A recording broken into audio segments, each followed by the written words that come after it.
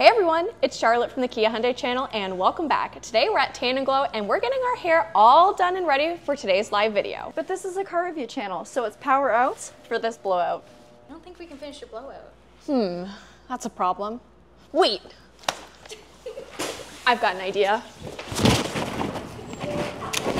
This is the job for the Kia EV9. Now luckily, we drove our EV9 today, which supports interior and exterior vehicle to load charging, which allows for bidirectional charging, so theoretically, we can power the salon with this vehicle.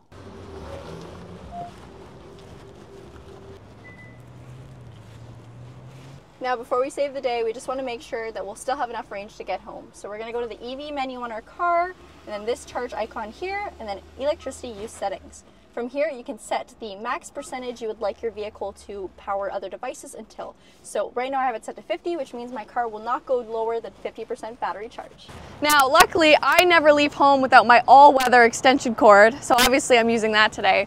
But to use the exterior adapter, what you're gonna do is you're just gonna plug it into the port. You can see it's just a regular AC port. So for your household devices, and then what you're gonna do is give it a little squeeze and it's gonna click in. And then before we hop back in the salon, let's take a look inside the car. You can see our gauge cluster says transferring vehicle to load and we have our time remaining. So right now we don't have anything plugged in, but there's about 44 hours and 53 minutes of power supply until the vehicle reaches 50%.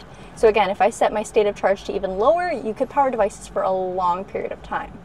It's saying zero kilowatts because again, there's no power transfer yet, but let's see what happens when we plug in the blow dryer.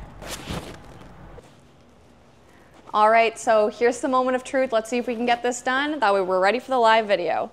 So plugging in the station here. Ah! And we're back in business with power, baby. and all is right in the world again. We're gonna head back to the Brantford Kia studio now with our new hairdo and we're gonna talk a little bit about a little bit more about what V2L is and what are some of the limitations with it. So we'll see you there.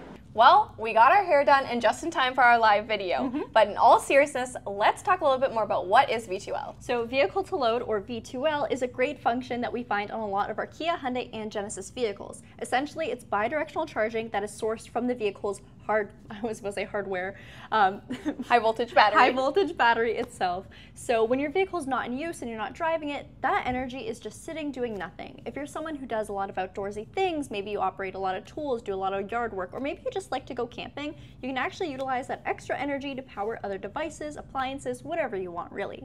So I've had quite a bit of personal experience with vehicle to load with camping. I've taken our EV9 and our EV6 camping before, and both times I had a ton of fun with the vehicle.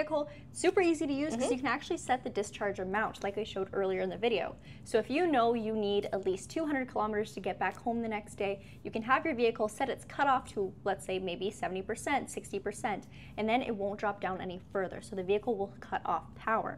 But here's another thing you could do, Charlotte. So real world example, I took an EV9 home and I got it completely covered with sand. It was absolutely disgusting. And I didn't have a extension cable or a cord that was long enough to plug it in. You mean you didn't bring your, you know, your multi-purpose all-weather extension cord? You don't keep that on hand with no, you? I don't, oh, okay. Actually. I guess that's just me. but I did have a shop vac. Unfortunately, the cord was not long enough to plug into the garage at home, so I plugged it into the internal vehicle to load mm. port of the car, and I could shop vac the vehicle from inside the vehicle using the vehicle's power.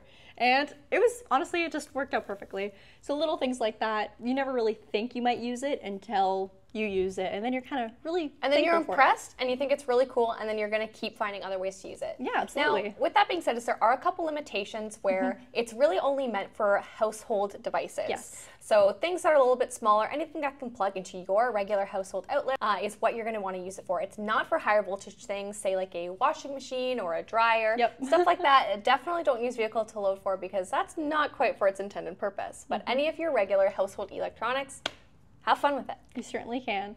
Um, another thing we've done at our dealership is host an EV infotainment or info night, where we just went over a bunch of EV ownership tips, tricks, and talked about service as well too. And with that, we actually powered our signage with an EV9. Mm-hmm. So things like that. It doesn't drain the battery quite quickly, but again, that's going to vary on what you're plugging in. You can plug in inflator kits to do kayaks, seriously anything really, even griddles.